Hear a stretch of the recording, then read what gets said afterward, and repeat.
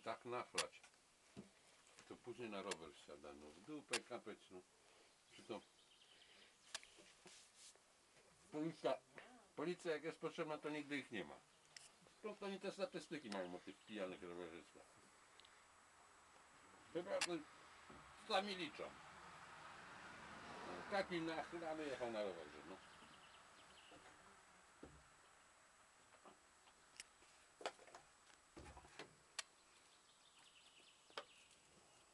Jego mać, co to za...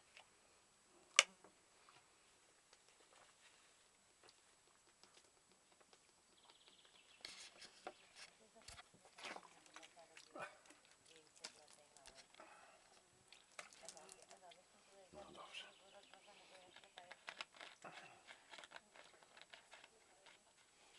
Komary tu gryzą, nie? No ale no pijany taki, no i to, to wstyd, że my z nim jechaliśmy. Go Palaczy nie lubię, ale pijaków to nienawidzę. No. Czy tak nachleje. Patrz, zobacz jak padł z tego roweru. Dobrze, że trzymałem ten rower, bo by się rower. Tak się nachlał, no ja Co my teraz z nim zrobimy? W krzaki go trzeba gdzieś rzucić, jutro się po niego przyjedzie. Rower też krzaki. Moczy morda. A ubrał się, zobacz, jakby był trzeźwy. Chyba go ktoś ubierał. Jeszcze takie nazwisko nosi, no. Dobrze, że inne imię. Wstyd by był na całą rodzinę.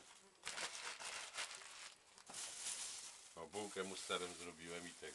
Raczej z szyneczką, proszę. No idzie takiemu pijakowi się na bułkę taką dobrą. Trzeba zjeść samemu.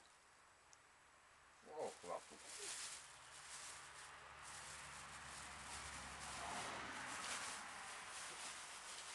Rzucamy go w krzaki, jedziemy, bo ja nie mam czasu.